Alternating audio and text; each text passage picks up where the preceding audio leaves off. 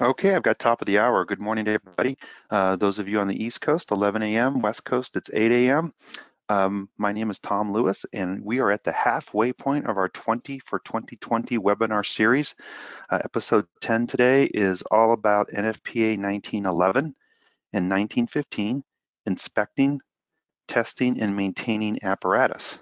So welcome everyone. Uh, glad, you, glad to have you all here and uh, we're going to make it a good uh, good presentation today and I hope you'll be able to take away some good things for your department. So we're going to go over a quick introduction. Um, we'll go over our objective and we try to keep it very straightforward and simple. And uh, we'll get a couple poll questions for you. We'll run here in a little bit. Um, we'll give a quick emergency reporting background in the event there are people that are new to the emergency reporting family with us today quick overview of our system features, and then we'll dive right into rig checks and then an overall high level look at NFPA 1911 and 1915. But before we get started, let me uh, run a couple polls here. First of all, I'd like to know a little bit about you all. And you'll see on your screen, which type of agency do you work for? Are you guys career, volunteer, combo, federal, or DoD? All right, we got people voting fast today. And I see a few new names on the list, so great. And, and I know Kervin's been with us for many of, so we're Kervin, good to see you again. But a lot of a lot of uh, a lot of new names on the list, so good to have you guys here today. All right, looks like everybody's voted, and our mix today is most interesting. We've got half volunteer and about half that are combo, and then a little bit of career. So fantastic. All right, here comes a couple more. So are you currently an ER customer or are you interested in joining the ER family? You guys are fast, awesome. Okay, here we go. All right, so a couple are interested in joining the ER family, so great. So you're not, you're not a current customer, so I will take a couple minutes um, for those that are brand new to just do a quick high level look at who we are and uh, what we have to offer. Fantastic. All right, let's do that real quick. That's me, um, retired battalion chief out of Southern Arizona. Been with emergency reporting since 2004. Uh, started as a trainer, both regionally in the States, and then branched out into the international and Department of Defense, Defense realm. I am now currently a business development analyst for our biz dev team. Um, I'm subject matter expert for our sales team as well, and I get privileged to go out and do presentations. In fact, uh, those of you that are initially registered for this saw that it was yesterday, and I had to do a turn and burn trip to Los Angeles for a presentation. And so I got back late last night and uh, here I am this morning. So hopefully I'm wired up on enough coffee. So those of you that had to change your schedule a little bit, we normally do these on Thursday. I want to thank you for jumping in today and uh, coming on a Friday. So we'll make we'll make this worth your time today and and uh, respect your time, get in, get this done, and let you get back to, to the work you have at your department. So thank you for that. And uh, yeah, so that's me. Uh, here's our objective for today. And again, those of you that have been with me previously know I like to keep this real straightforward. And that's our objective. How do I improve my overall apparatus inspection, testing, and maintenance so that I better adhere to NFPA 1911 and 1915? And while this is not a class or a presentation about those standards, it's how I want to give you enough of an introduction about those standards so that you can go and reference them and kind of be a leader in your organization when it comes to, okay, if we want to do better in certain parts of our department, and in this case, it's about your apparatus maintenance and such, chances are there is an NFPA standard for it. NFPA, National Fire Protection Association, is the uh, clearinghouse um, and developer of national standards that govern a lot of what we do. And whether or not we realize it, um, a lot of the decisions we make, a lot of the things you see in literature, a lot of the design going into our apparatus are based on these standards. Um, there's one for the design of apparatus, which we certainly not won't get into today, but these two are critical. And I strongly recommend your engineers, if they haven't already, look at these standards because it will guide them. And if they have any questions on what they should or shouldn't be doing when it comes to their vehicles, these standards cover it quite nicely. All right, so for the benefit of those that are brand new to uh, emergency reporting and are just kind of getting to know us, we currently serve, and this number keeps going up. This is an old slide, but we're almost at 6,800 departments. Um, the number of files that have been reported in our system, incidents reported in our system, surpassed 36 million, and we're almost at, we're pushing a half a million personnel total in the system. These are our pillars, and today we're going to talk about compliance with NFPA standards. Operations, allowing you to basically run your entire department using our system. And then for me, these bottom two, and it makes it easy to remember because you can think of the word CORD, C-O-R-D. But for me, this is the top one, building relationships with all of you and knowing that data drives the fire service, but really it's humans in the driver's seat.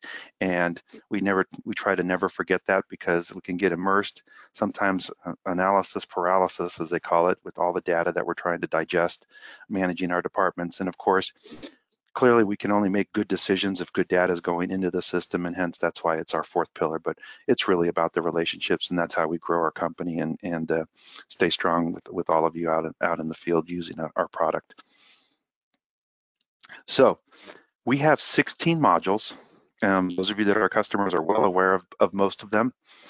Um, we have a very robust partner interface, uh, partner interfaces with our APIs, um, application programming interface. And um, those of you that aren't techies, um, that just means it's the way that other software, so say your scheduling program, um, your, boy, I, I, stayed up way too late traveling, but primarily your scheduling program is, is one of the ways uh, inspection programs um, if you're using something else um, can talk to our system uh, incident management programs i'm getting on a roll now can basically that software using the api platform can reach in and pull data out of our system if it's needed in their system or push data into our system if we need it. And it has that communication oftentimes back and forth between the two products.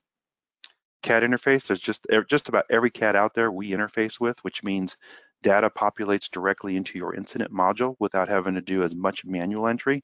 As an example, my department, we went from, from when we started ER in 2004-ish, we didn't have a CAD interface for about five, six years.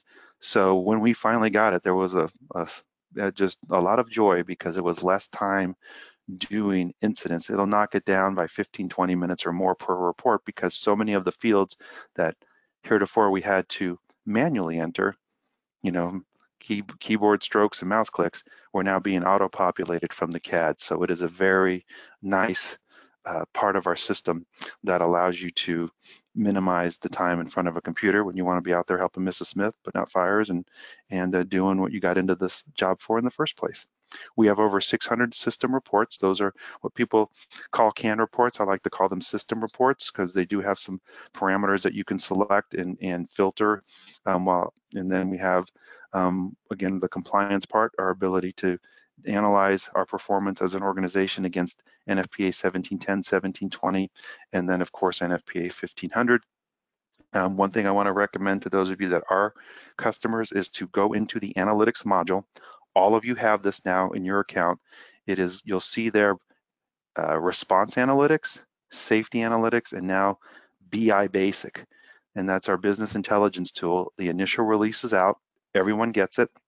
Um, we, were, we are working towards uh, what's called Business Intelligence Pro, which will be an upgrade that we expect to see come by the end of the year, early 2021, which will provide what a lot of you have been asking for, a more of ad hoc type reporting. Let's get into the, today's program, and I love this quote. Um, those of you that have been on my presentations before know that I am um, uh, I consider uh, Chief Brunacini uh, a mentor. I've been privileged to work with him a little bit, not on Phoenix Fire, of course. I didn't work for Phoenix Fire, but he did come out to our National Training Academy and do a wonderful presentation. Uh, and I love this quote, and this kind of helps uh, set the stage for what we're going to talk about today. Fire trucks are godlike vehicles that should always be over-maintained as a labor, labor of love, personal and professional, so that they can protect good and fight evil. Uh, that's just Chief Brunacini. But again, we love our we love our apparatus. Um, they define us in many ways. They identify us um, as an organization to the community, and the the uh, the pride that you put into them um, kind of defines uh, helps define the organization too. You know, you can you've been to departments um, that and seen departments where they just these are old vehicles. In fact, I was in California yesterday. I'll tell you, they drove, they were doing a big photo shoot down at the pier at, at uh, Manhattan Beach, the departments in the agency. And there was an old, and I think it was El Segundo, um, one of the departments in the area. It was an older apparatus, easily, easily from the 90s. But that thing was immaculate. The hose bed, the, and you know what I'm talking about when you the the four or five inch hose hose bed in the back of the truck was perfect. You know, they didn't have a hose cover on it, but just, so the hose was exposed. Those little things you notice and help define both the organization, let you know the pride and ownership that they take in their vehicles. So it's pretty neat to see that. Doesn't matter how old the truck is either. So here's the standards we're going to cover today. And when I say cover, it's really going to be how you can adhere to them within emergency reporting. The first one, NFPA 1911, and I'm going to actually go to these standards here in a bit, but this is just a quick slide. It's the standard for the inspection, maintenance, testing, and retirement of in-service emergency vehicles. All right, so there's a lot here. There is a lot in this document that is going to be geared towards your technicians and, and your engineers. However, when in doubt on what you should be doing day to day, especially when it comes to the inspection, okay, and the maintenance of uh, apparatus, it's in this document. And we'll go to a couple pages and I want to show you, whoops. Uh, but this one, this on chapter seven, paragraph two, this gives you a summary of what the visual check should be on your daily check. Those of you that uh, have a truck form or rig check form, this can be a jump-in point for it. Now, you probably, many of you probably already have a form, but you can benchmark it against what the standard says and make sure that you're truly covering everything that the standard has. And there's always an element of the CYA from a legal perspective when it comes to documenting what you're doing with your apparatus. Because uh, my department had an unfortunate incident where we had a failure of a 100 foot aerial ladder platform. It was up at about a 45 degree angle, fully extended. So you've got the hydraulic fly sections, then you've got the mechanical um, last fly, that's cable and pulley. Well, it failed. That fly, that section of the aerial came down like an elevator shaft. We had civilians in the bucket, and thankfully they were tied in with a safety harness. Otherwise, I would probably talk be talking to you about fatalities. But because they were all tied in, um, they did sustain injuries. There were civilians, some were elderly, all and and um, had pretty debilitating injuries. But thankfully, there was no loss of life. Uh, and so, one of the things post that incident was okay. Anything, anybody that would conduct begin conducting an investigation is going to want to see what the documentation both of the maintenance records and the vehicle checks. Well, at that point, we were doing everything on a clipboard, paper, you know, so you've got the truck check forms, you know, laid out maybe in a weekly grid, you fill it out manually, pen and paper. Then it goes into a filing cabinet. Well, you pull those documents out and you'll notice there's missing fields, uh, missing days even. Well, people ran calls. Um, our guys were great at checking the trucks, but the documentation was less than optimal. And so that came, that was, well, I say, held against us and, and such. It was not, we were not placed in a favorable light as a result of it. So that leads me to the next question for you all. Do you follow NFPA 1911 and 1915? And I'll tell you, talk about 1915 here shortly. And so, yes, no, sort of, or and this is okay. What what's NFPA 1911 and 1915? So think about that for a second. And we'll see what we've got. They're trickling in. And the yes doesn't have to be 100%. It means you have introduced these standards to your organization. If I were to come visit your organization and ask an engineer, hey, do you know what NFPA 1911 is? They would be able to say, yeah, it's the guide that we use for, you know, keeping our trucks in good shape. All right. No means you don't even know what it is. Sort of means you follow probably elements of these, but maybe not to the letter. And, and keep in mind, here's the thing people kind of freak out about in the fire service when it comes to these NFPA standards is I have yet to see a department that adheres to all of them or most of them even 100%. It is something you're continually striving for and you're doing your best to adhere as best as possible. Um, and this is one of them. And you'll see when I get into the standard how much is involved here. Great, everybody. We've got everybody voting. Here's the results. Okay, so we've got, yeah, sort of. And that's kind of what I expected. You're doing things and you're probably doing a pretty good job, but there's always room for improvement. And thankfully, probably because I just did that slide, um, you know a little bit about at least what NFPA 1911 is. Awesome. All right, next slide is this standard hasn't been updated and it, it has some redundancies with 1911, but I highlighted those two sections on the um, right from the introduction. I like what NFPA says. It's the minimum requirements for establishing a PM program for fire apparatus. And then at the end of the day, and I, I, I highlighted this for one reason and one reason alone. We're in the fire service. Change does not come easy. The first question that comes out of almost everyone's mouth in the fire department when something new is introduced or something has changed is why?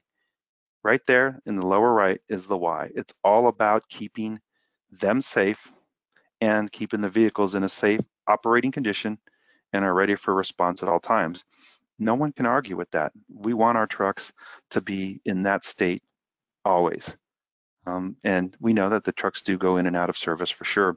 But one of the things, if you are thinking of introducing anything new in the department, and I'm learning this, I learned this as a captain and as a, and as a battalion chief, and I see it day to day. In fact, it was part of our conversation yesterday in California was you've got to introduce the whys behind it. If you satisfy that innate need to know why by the troops, usually you will get a stronger buy-in and a better understanding of, uh, of what's going to be taking place and a smoother implementation of something new, or simply that, hey guys, if you haven't read 1911 or 1915, that's going to be a little bit of homework and maybe some rainy day training at the day room, um, especially for officers and for engineers. So just something to consider there. Last poll question. How do you document your checks and your, and your maintenance of your vehicles? Mostly paper, you used truck checks, which was our initial solution for documenting daily apparatus, um, weekly apparatus checks. It is from our partnership with Halligan. Now we have our new ER rig checks, which I'm a big fan of. Or do you use like other software, some, some other program, spreadsheets, Microsoft Word docs, Google Docs? All right, guys, thanks for voting. This is looking good. A few more multitaskers look up real quick. All right, gonna close in three, two, one. Ah, most interesting. I like this. So some are still using paper.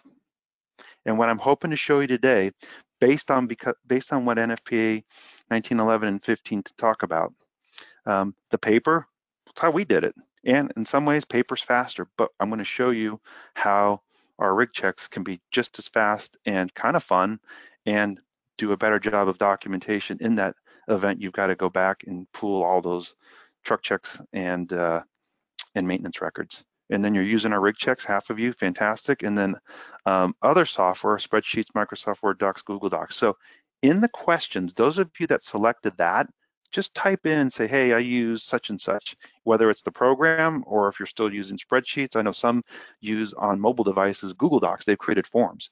So just put in the questions um, what you do, those of you that answered that. All right, that will do it for our uh, that will do it for our polls.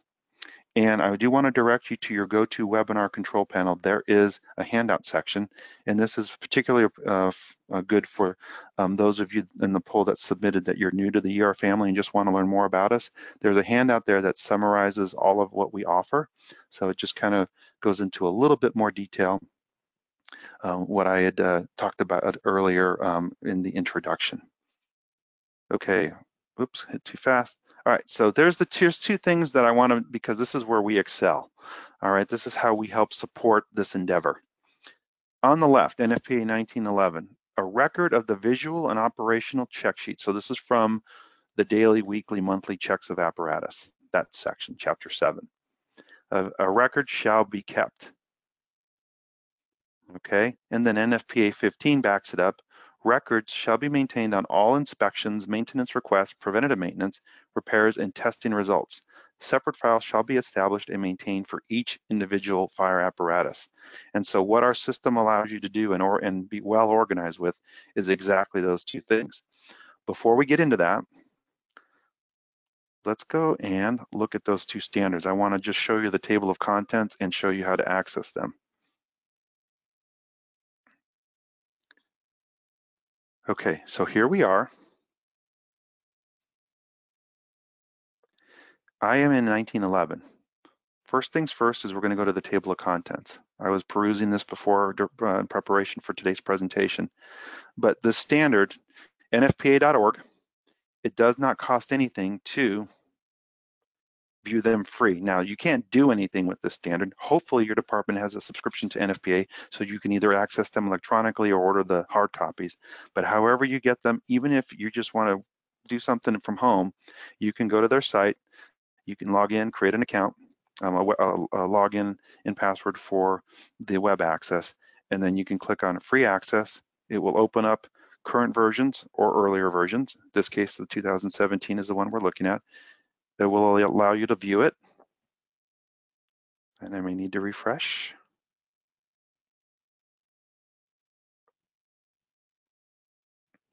Okay, oh, it was loading. It just, I need to be patient. Okay, here we go.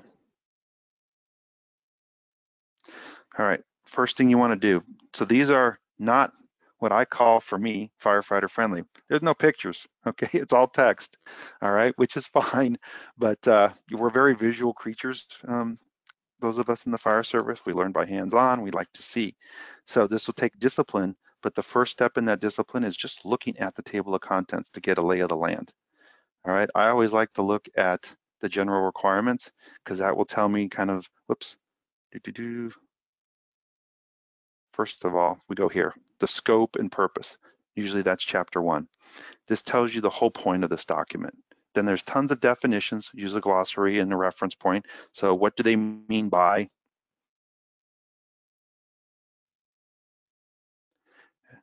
Adjust, okay? Terms like that as that they use throughout the document, okay?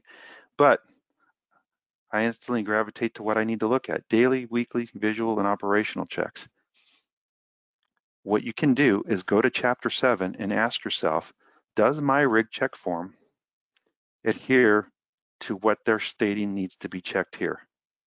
And again, they're saying shall include but not be limited to. So there certainly could be things on your apparatus that are not listed here, but it's very detailed. And then it does get into a, the technical aspect of the vehicle and how and what things should be checked. Now, your engineers will go through much of this training. In fact, it would not surprise me if 1911 is part of the curriculum but you can use it as a reference point as well to help improve your overall program um, within your department. So that's NFPA 1911, and you can see all the things that it references. I mean, it goes deep. All right. You've got a new vehicle, new vehicle technicians. How are you going to develop a preventative maintenance program? All right. One of the things that this talks about, and I believe it's the standard, is what defines an out of service vehicle. And then it also talks about um, what defines retiring a vehicle in chapter five. So this is uh, this is just particularly interesting, and I want to show this to you because we have a part in our system where you can set its the life expectancy of a vehicle. Okay, and so what I won't do is I know it's in here, um, but it explains the time period um, of when vehicles should be in and out of, um, be taken out of service. Um, and so it is in this document. Um, I'll let you find it and peruse it because I want to get into the, the meat and potatoes of today's presentation. But when in doubt on what defines something that is in or out of service, you know, day to day because of what's going wrong with the vehicle versus the overall life expectancy of a vehicle, it's it's in this document. The other one is 1915. It's an older standard. It's it's getting getting pretty. It has not been updated, which leads me to believe that 1911 is more of the defining document. But this one is a little less intense and still gives you some good background on a PM program for your vehicle. And again, it goes through the standard NFPA format. So again, I can't emphasize enough, if you're an up and coming leader in your organization, um, it will behoove you to learn in your area of responsibility the NFPA standards that govern um, what you're doing day to day. Um, at least know the standards that are most critical. And so if in this today's case, we're talking about vehicles, these are two of the most important ones, certainly 1911. And having a mastery of it will go a long way in helping keep your guys and girls safe um, out there on the rigs and keep your fleet looking fantastic, you know, 10, 15 years down the road and running fantastic. And at the end, Yes, we love a good looking fire truck, but chances are a good looking fire truck is also a safe fire truck. All right, let's get into the system. Any questions? Let me just double check, make sure we don't have any. Thanks, Amanda, for that. So you're using the Halligan app as an alternative. Very good. Okay, so I'm in the system right now, and the things that I want to focus on um, start with the overall lay of the land on apparatus. All right, so right now, um, this is sticky. So what this means is, is I have equipment and apparatus grids. I was last visited the apparatus grid, so that's what popped up first for me here, which is exactly what I wanted. I'm gonna go ahead and expand them all, and you're gonna see that it is organized by NFP, or NFIRS, excuse me, NFIRS apparatus type. And so if I scroll down to my engines, you can see the engines in this, in this account. Now there's no subcategories here like there is in the equipment grid. You've got NFIRS type 11 engines. There's five in this account. Engine one, three, four, M1, M2. And then you can see the vehicle ID. And we'll talk about this vehicle ID because this is critical, all right? Hugely important. Um, and it sometimes provides some confusion. The station it's assigned to, down here, the next layer, so layer level one, category. Level two, the actual vehicle. Level three, any pending maintenance. The red text is going to show you that things are not assigned or not scheduled or past its scheduled date. If a vehicle is out of service, so let's just, for example, take it out of service so I can show you what this does.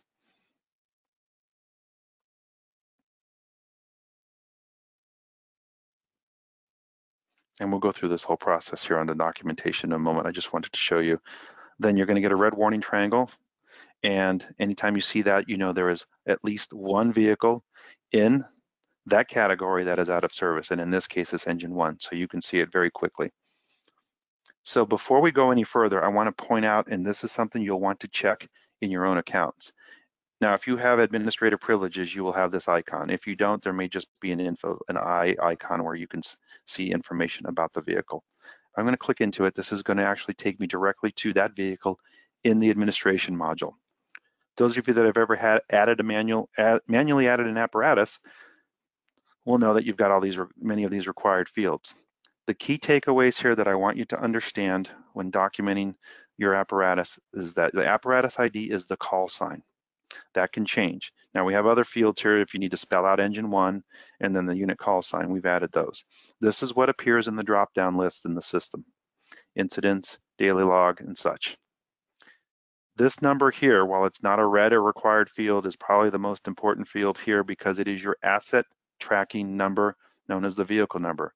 We called it a shop number, whatever you call it in your organization, this is the cradle to grave asset ID it is preferable not to say it's engine one because it could become something else down the road. We use the last four of the VIN. Whatever you're tracking, however you track it, just know that that number should stay the same. And then there's reports in our system that pull from this number. So people worry, if I switch out trucks, do I need to switch this apparatus ID? My recommendation is no. Just, I'll show you, teach the guys that if engine 10 is running as engine one today, it's still engine one in incidents, but it's going to be engine 10 or nine and whatever it would be, its vehicle number listed here when you're checking it. And we make that easy, easy to define. And so you can eliminate that confusion and administrators going in and switching this. It just turns it into, it makes it harder than it than it has to be. And so I just want to point that out because that's a very frequent question we get. And it's my best practice recommendation to certainly change this as as needed when it's a permanent change, not a switch out. And then when it comes to checking and maintaining, this will serve as your guide. So again, if today engine one is running as engine 10, it's still vehicle number 9990 and all its maintenance and checks correspond to that asset. The other field I wanna mention, uh, fields I should say, is if you can, put in the initial cost, the date it was in service, and when you expect to replace it. Why? Because we have reports that pull from this, and so your chief can get a preliminary apparatus budget um, for any given year if you put that field in the system. A couple other fields that provide um, questions to uh, that we get questions on. The in and out of service status is self-explanatory. NFPA compliance. This is this is tied into our safety analytics. So if you have safety analytics, this will allow you to see at a glance the state of your fleet. Has that vehicle been checked as expected based on its inspection frequency listed here? And has it had its annual NFPA pump test? Um, this is a mandatory field, but it only is applicable if you have safety analytics. Last one is apparatus ownership. Many of you rely, I noticed there were many volunteers uh, departments on today's presentation, may rely on neighboring agencies to meet your standards of cover. Therefore, and if you have a CAD interface, those units can certainly populate in the system and you can add them here. Just make sure you check this radio button. Why? This means that it will appear in your incident list and can come over from the CAD and populate their times so it complements your unit responses but it will not appear in the maintenance module and clutter up your maintenance grid because it's not your apparatus. So don't forget that. That's really helpful, especially if you rely on neighboring agencies to help you meet your responses. Questions here? Okay, doing good today. All right.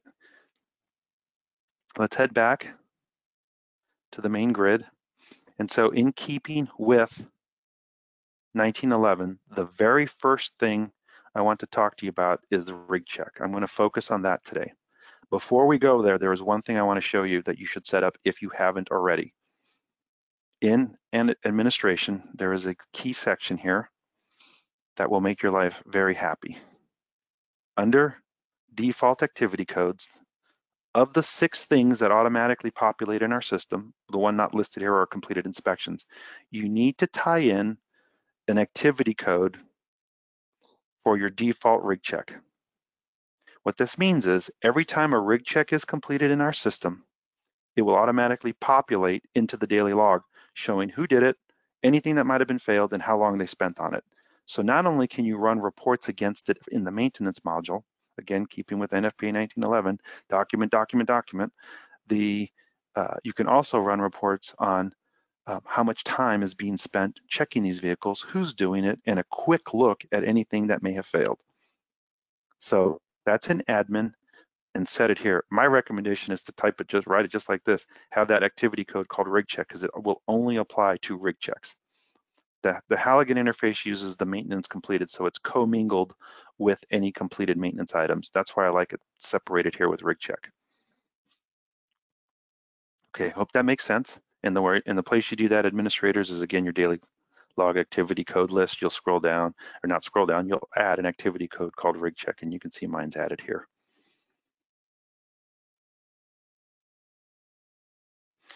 Okay, I'm gonna go visit this. We'll come back to this table and show you a maintenance request, but on rig check. And one of the other things I want to show you here, well, I'll show you here in a minute, is how to do it on a smartphone because it's designed for uh, for smartphones. Okay, so lay of the land, filter. I want to just find engine one, I can do that. Anything with NGE in it, I can do that. E dash. Okay, you can enter that, or I need to find vehicle 9990. That's your search. You can also filter all apparatus or just my current assigned station. So let's clear that out. And I just want to see current station or the station that I assigned to me. It's essentially the same filter here.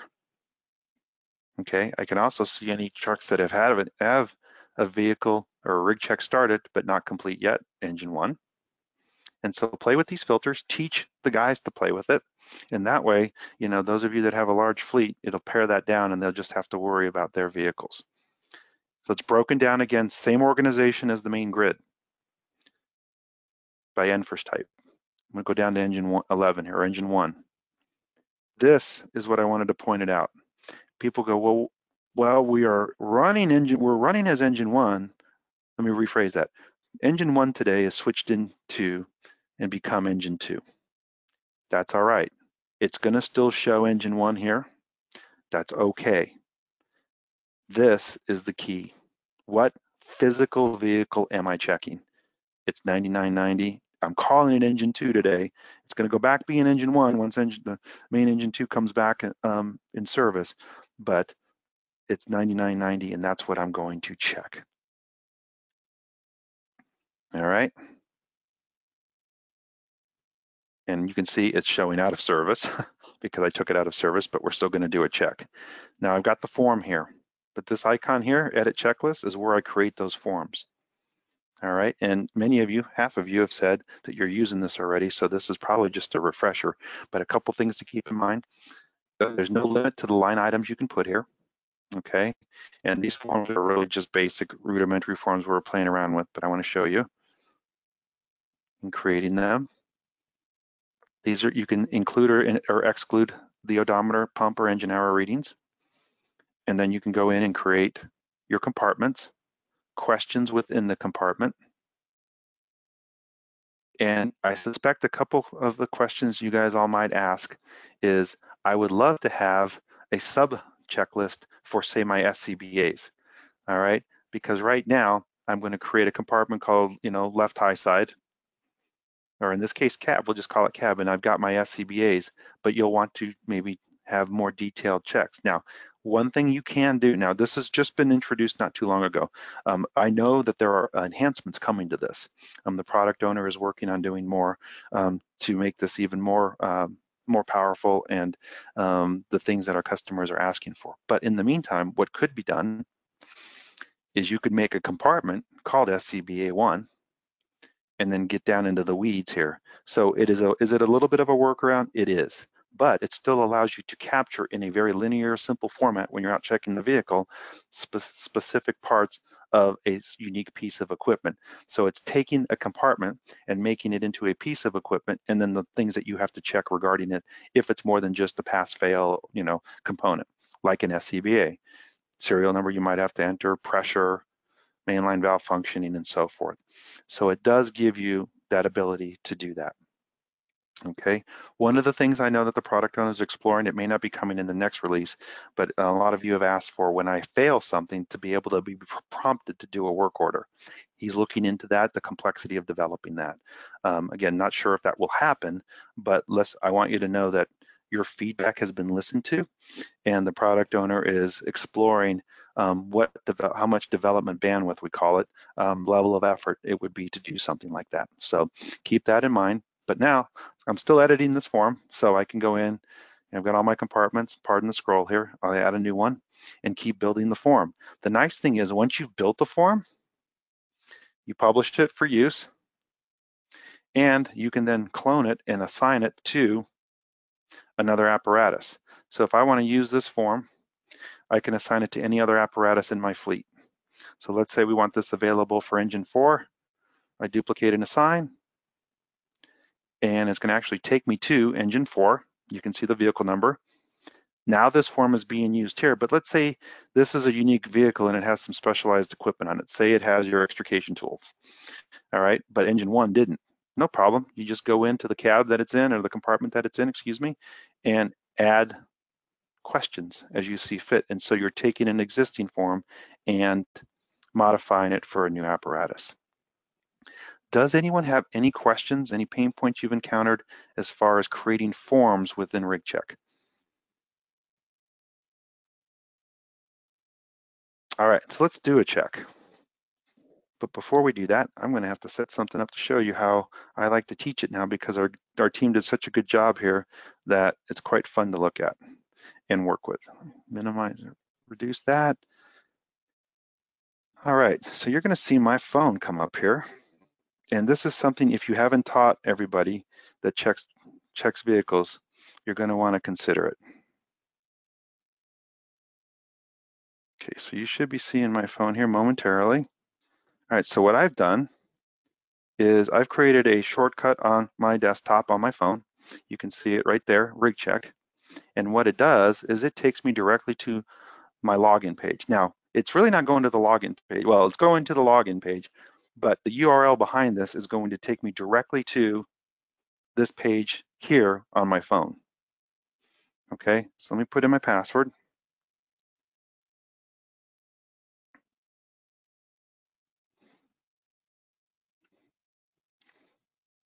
Too many, too many, where is it? I'm using there it is. Okay, so now I'm going to log in, but it takes me directly to it because of how I've saved it on my phone. And if you don't know how to do this, I can actually show you. So here I am logged in. So focus in on my phone. I know there's the background there, but focus in on my phone. So now I'm to go check the vehicle. I'm going to tap Start Check. I'm going to pick my form.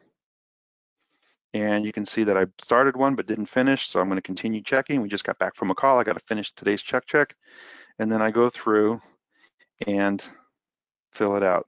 Now there was a bug in my account that was prevent on the pump hours that was preventing me from completing this. We'll see if it's still there. So now I found something that failed. And so I'm going to put in some notes. I can take a picture.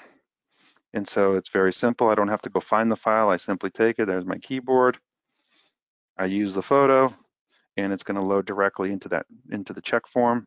I can keep going while it's doing that. And again, you, many of you have done this, so I'm not going to like go into, okay, this, we're just gonna fly through the form. And again, I'm walking around the truck, getting all this done.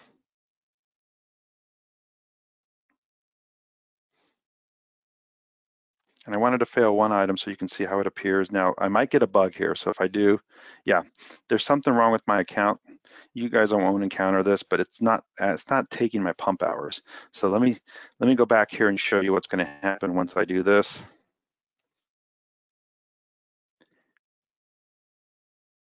But again, I would complete the form and then I'm done. Put my phone back in my pocket and we're good to go. So let's go back here. It should say 19, continue checking. It's gonna drive me nuts if it does it here again. So pump, see, it's not keeping my pump hours. Yeah, it's something is up here. So we're gonna, I wanna show you what happens because you need to see this. So guys, I apologize for that. So we're gonna do this. I think this checklist is shorter even. Okay, apparatus. Gotta publish it. Oh yeah, if it's in draft, you can't use it. It's like our inspection forms. If you don't lock it, it's not going to be able to be used. So we're gonna go here and publish. And so now I can use it.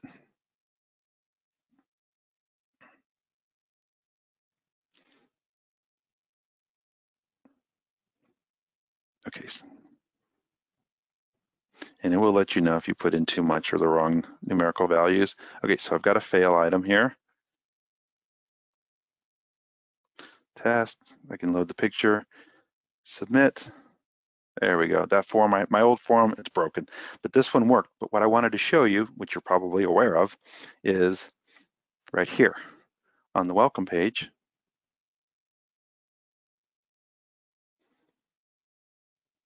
You've got start and stop time. I did it really fast, so it's a less than a minute. But the the the there's my default activity code rig check, the apparatus and vehicle ID. I use the new checklist form, who completed it, and anything that failed. And so you have in our reports section reports that are pulling from the daily log that you can see run. Let's just do it. Go to reports, so in addition to everything you have in maintenance for daybook reports, I go to daily log and I want to see daily log items for personnel. I want to see for the month,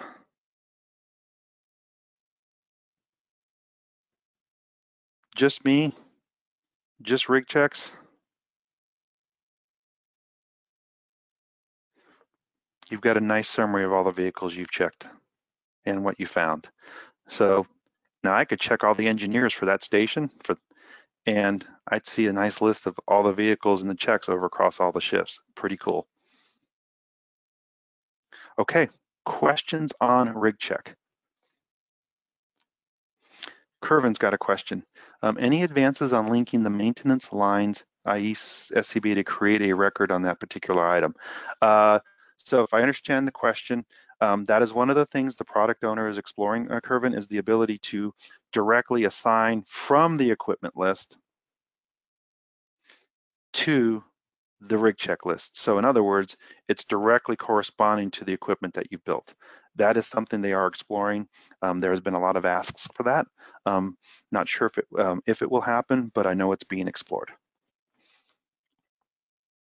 Okay, now for the general maintenance, again, remember the standard talks about preventative maintenance program and the general maintenance and testing of a vehicle, right? So now we've got a vehicle and depending on the permissions you have set, you're welcome. Uh, Kervin, absolutely. Um, oh, I'll just interrupt her for a second. A question from Amanda. So what would you say is the biggest difference between ER rig checks and Halligan? So the user interface is certainly different when you see it. Um, the basic Halligan that we have in our system gives you a limit of 50 line items. We do not have any limits in ER rig checks. Um, upgrading to Halligan Pro gives you a lot more functionality uh, than uh, Truck Check Basic. Um, and that, I would say if you compare these two, you know, our rig check and truck check, the number one difference besides the inner, the, the, the look of it and the use of it, um, the what we call the user interface UI um, is the, the the line item limit. Sometimes 50 is just not enough, and so then you'll bump over to rig check. You know, and that doesn't cost you anything extra. All right, so in the apparatus now, we're, we're at engine 11. Now here's the thing, you found a discrepancy, okay? You found a discrepancy with the vehicle during the check. The next step that you have to do is document that. You're gonna go to the gear icon, and depending on your permissions, some you might just set for firefighters to request maintenance. That's fine. They're gonna find that they noticed that the right rear taillight is out. All right, they may document the apparatus hours, pump hours or miles. Most likely they're gonna document the miles when it comes to something like this. Obviously there's no fuel entry. It's and let's say we're gonna put it back in service. So it's it's in service anyway the description. Um, let's see, right rear, light out, attempted bulb replacement, still out. All right, you can take a picture. I've had a guy do a little video clip. We had, when we were first implementing a different uh, way we were doing uh, rig checks in a system using the occupancy back in the day, uh, he actually loaded a video, a video image right here because our the indicate tank indicator lights, even though the, it was full of water for the tank on the truck, it was showing and it was bouncing from you know one to nothing, a quarter tank to to nothing despite it being full. So instead of trying to describe it, he just did a video clip of it and it was excellent. And then we can request and close it and it will prompt you to send an email. And that email can go to multiple recipients, the captain, your fleet, and external uh, fleet services. And then they can not only can will it have the minor repair maintenance summarized here, you can also um, enter any other information manually and then shoot that email off to whoever needs to get it and then you'll see that it's not assigned or not scheduled yet, but that's no problem. You can go in and assign and schedule. So we've got from request, first section, assign and schedule. Who's going to do it? You can build your vendor list in the administration module. So you can assign it to a vendor that does the work. If there's a change in any of this other information, you can do that, any other notes and any other files. And then again, if you have it a step-by-step, -step, assign, schedule, and close, email will be prompted. You'll notice that the text goes black because it's, whoops, the text goes black because it is now scheduled and not past due. And then we go to complete it.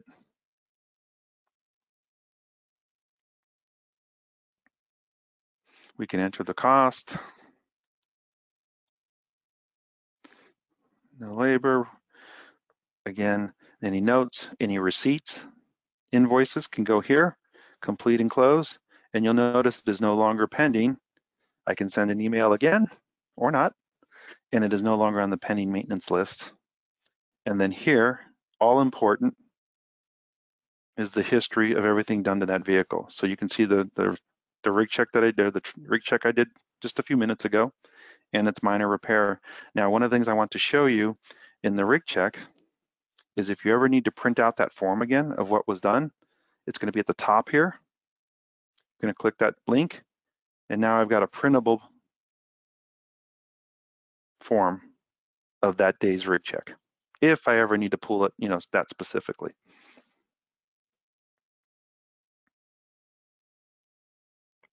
All right, so we've done an introduction to the apparatus grid, some key fields within the apparatus edit page in the administration module, making sure that you've got a default activity code created for completed rig checks if you are using rig checks in our system. If you are using the Halligan truck check, it's going to default to the completed maintenance, but it will also appear in your daily log. It just won't be segregate, segregated as a unique activity code from all your other maintenance items. You've got the, the, the requesting, scheduling, and completing of a maintenance item. And then it all appears here in this table. All right, and so this is great for accessing individual maintenance and checks but let's say I want a more comprehensive report. This isn't going to give you a report. These are. A couple reports I want to show you. Remember, one of the parts of NFPA 1911 is replacement of vehicles. 1696. And again, I'm going to put a wide range of years because I don't know exactly when all of mine are going to be replaced, but I should capture because of the data, the entry that I put in in the administration module, I can at least give the chief that in 2026, well, let's go to 2029. Engine 71 cost us at the day 465,000. All right.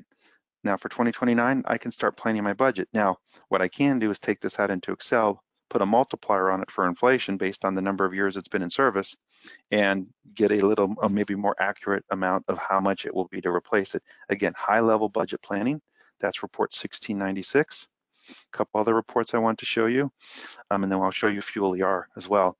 Um, this one's really great. Those of you that do not necessarily have city pumps, you maybe use, you know, department credit cards, um, you have your own pumps and you need to document fuel. If you don't have the fancy system where when you pull up, it knows RFID, your that vehicle, how much you used, and it goes off electronically. This is a great way to document it.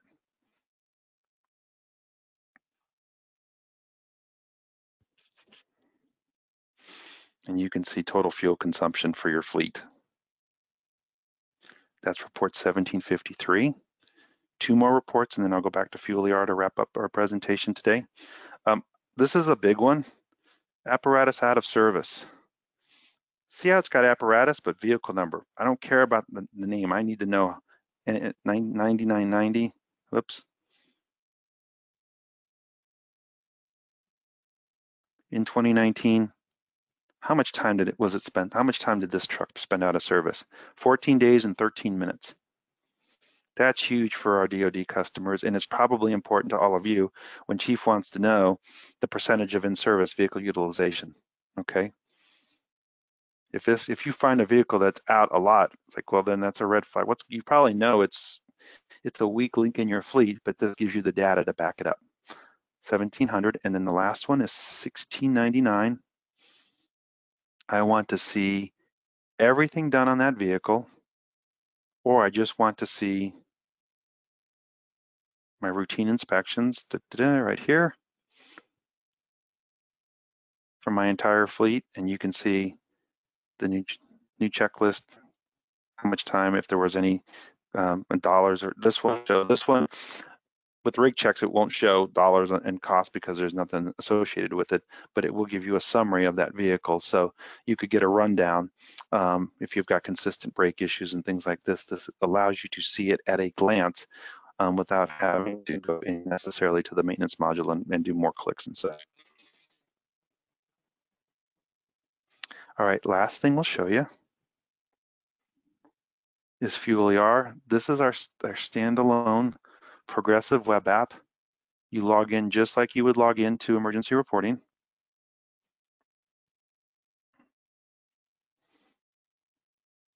And it's pick an apparatus, engine one, no, engine one, please.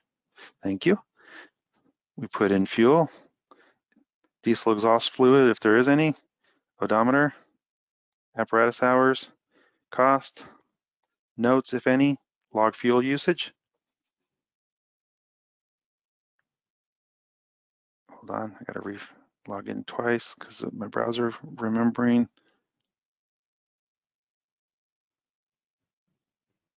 There we go.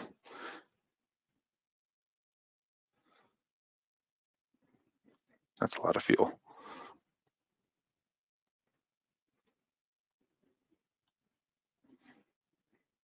Right, just to show you, we're going to log it. You'll get this to conf confirm it. Click submit. That fuel that I just did. Engine, remember I did it for engine one. So it's a fuel entry. Go to its history. And there it is right there. Today's date. And that entry that I put in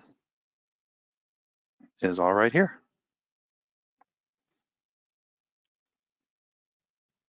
So again, if you don't have a, a, a fancy electronic uh, fleet system where truck pulls up, you grab the pump, it talks, the pump talks to the truck, truck talks to the pump, and it documents it remotely. Um, this is a super tool and it's a single purpose, an elegantly simple single purpose app. And again, it works great on a mobile device as well. So we are near the top of the hour. Um, I hope you found this helpful today. Um, we did a quick introduction of two really important standards that you now know how to reference as you build your um, uh, fleet inspection, maintenance, and testing program. Um, we learned um, some things in the administration module. We learned some things in the apparatus grid, both for rig checks as well as for performing any kinds of maintenance. And of course, we uh, did a quick visit to Fuel ER. So all of those things we showed you will help support your ability to enhance um, your adherence to those two standards we talked about today. So with that, let's talk some questions here. Um, so Amanda, there's a lot of different things Halligan Pro does, um, um, and I'm not as familiar with it as I am with Halligan Basic because the Halligan Basic was part of our system. Um, but I do know that there are some things that Halligan Pro does do that ER Rig Checks does not, and then we're looking very hard at um, enhancing those features to be even more competitive with them. But keep in mind, everybody, all of our customers get um, rig checks. And uh, again, I'm a big fan of it. I think our development team did an outstanding job, both in the simplicity of it and then the ability to use it on a mobile device.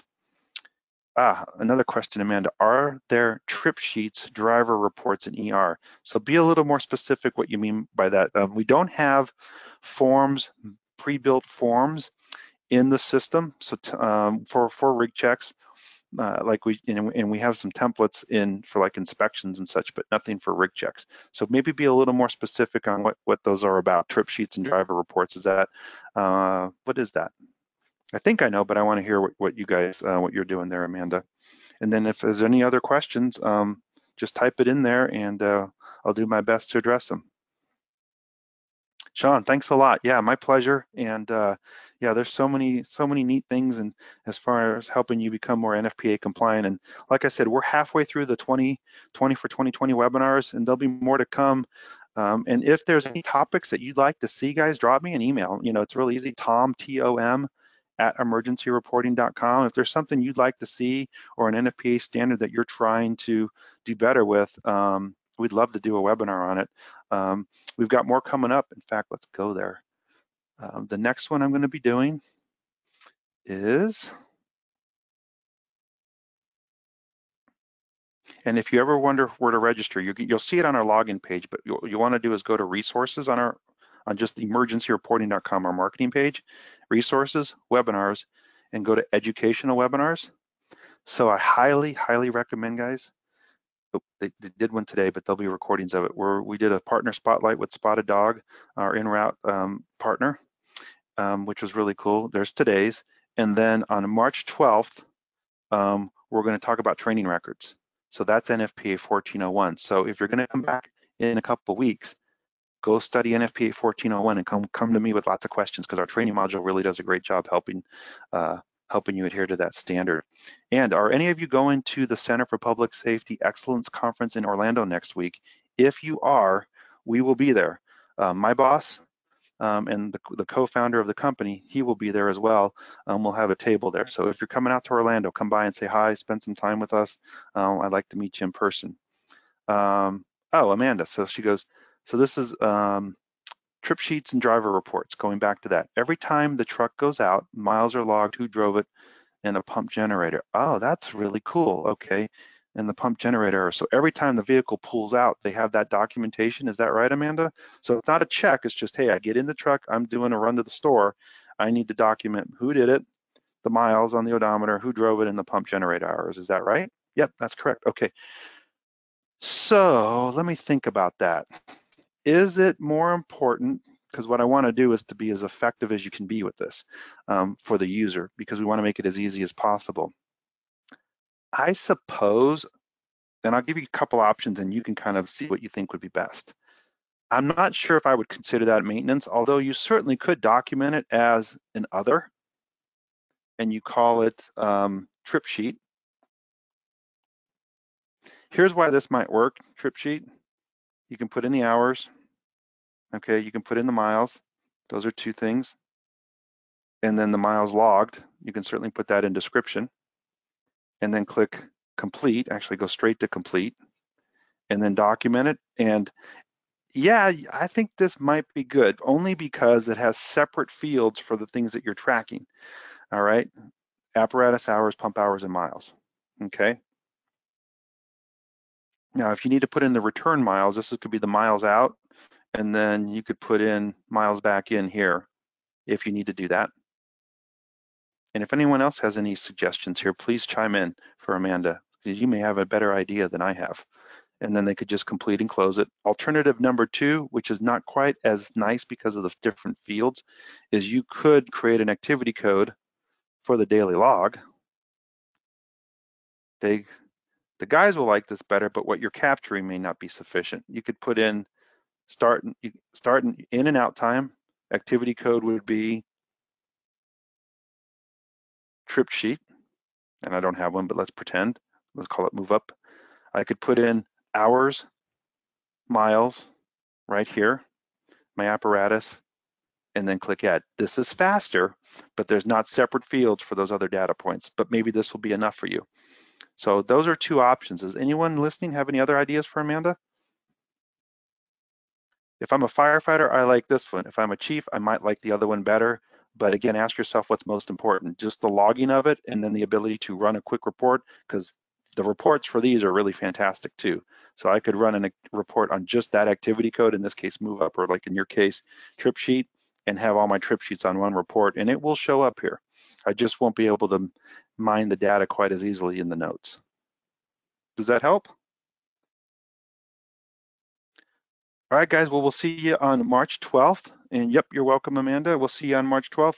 Have a wonderful weekend. Thanks for joining me this Friday. And keep in mind, March 12th is a Thursday. Um, we're going we're doing our very best to not have to change these dates. Just sometimes my travel schedule screws things up. We're we're working on getting a backup so we can keep the schedule in, in shape. And then if I get called out, um, someone else will back me up and do the presentation so we don't have to mess with your schedules.